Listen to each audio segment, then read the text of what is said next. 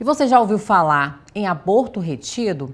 Você conhece alguma mulher que passou por isso? Esses casos são mais comuns do que nós pensamos. Porém, a gente não ouve falar muito sobre isso, né? Então, para a gente entender melhor, para vocês entenderem melhor, para quem ainda não sabe, principalmente, vamos entender melhor na reportagem de Bruna Leão.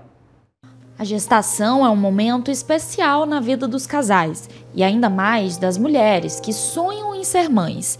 E nesse momento, mesmo com todo o amor e cuidado, infelizmente nem tudo sai como planejado. A descoberta acho que foi o momento mais feliz das nossas vidas. A gente ficou muito feliz, muito feliz mesmo. Logo depois, né, infelizmente veio o, o, tal do aborto retido, que eu nem sabia o que que era. A gente sabia de aborto espontâneo, né, que é até o medo da mulher grávida é ir ao banheiro e ver sei lá, um pinguinho de, de sangue, a gente já fica assustada. Mas o aborto retido eu não sabia.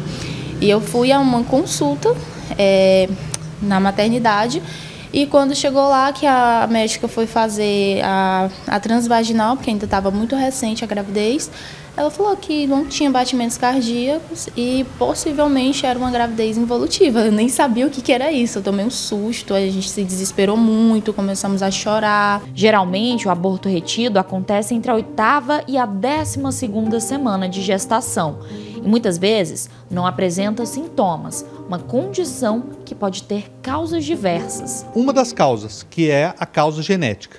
Porque a causa do aborto pode ser é, hormonal, pode ser infecciosa, anatômica, imunológica, pode ser da trombofilia, tanto adquirida como hereditária e também genética.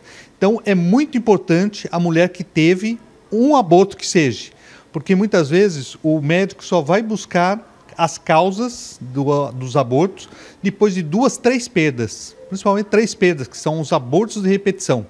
A gente não preconiza fazer toda a avaliação já após a primeira perda. A jornalista Mônica Freitas também perdeu o seu bebê. Ela descobriu por volta dos três meses de gravidez durante um exame de rotina. O meu foi um, um, um aborto que foi é, uma má formação, né? E eu não sabia que era muito comum.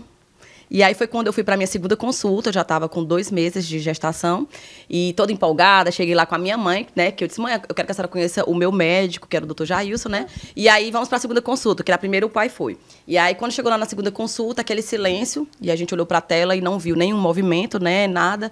E foi quando veio a triste notícia de que o coraçãozinho tinha parado, né? E ali o, a gente fica, o mundo acaba, né? A gente fica sem chão. Após uma perda, informação é poder.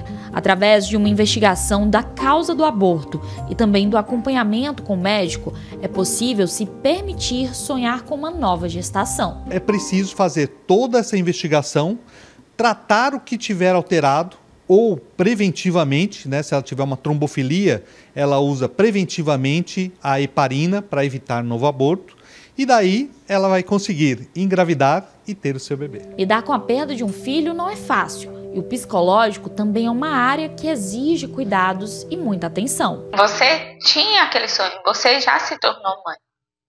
Então você vai ter que ressignificar o seu sonho, ou ressignificar essa dor, melhor dizendo né? Então, sim, acolham a dor de vocês.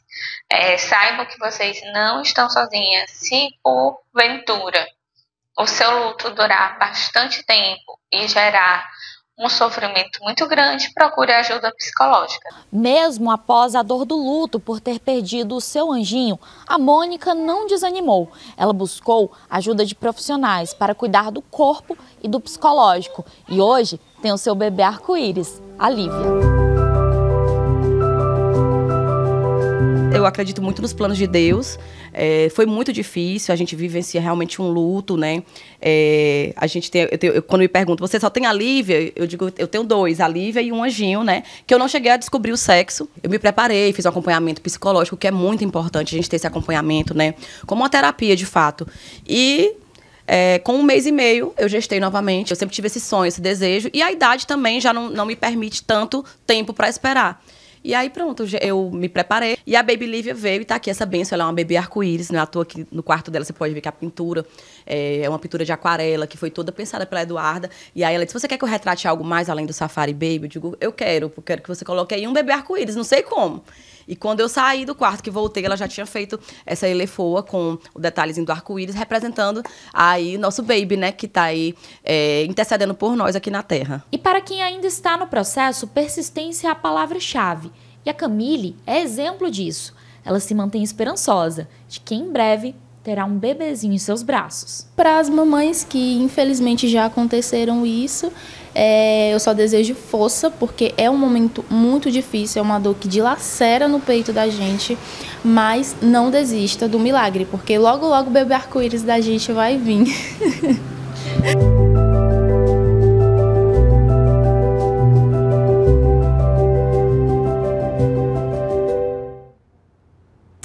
gente, é um assunto muito necessário, né, de ser exposto na mídia. Eu mesmo passei por essa dor e só fiquei sabendo quando aconteceu comigo, até então bem desconhecido.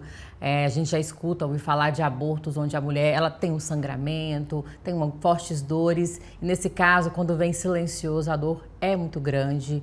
Imagino que não deva ser tão fácil falar sobre esse assunto, principalmente é, as pessoas que passaram por isso recentemente. É uma dor que não passa, né? Até fico feliz de expor aqui a história né, da Mônica, onde ela já tem o seu bebê arco-íris, e também da Mili, né, que está no processo aí para já já também estar tá apresentando para a gente o seu bebê arco-íris. Eu desejo, assim como elas disseram, força para todas as mães que passaram por isso. Não é fácil, mas depois da tempestade vem o arco-íris aí para alegrar toda a família. Muita força aí para as mamães que passaram por isso é, e principalmente aquelas, né, que ficam tentando, né, realizar seu sonho. Não desistam não, viu? Que Deus prepara sempre coisas boas para a gente.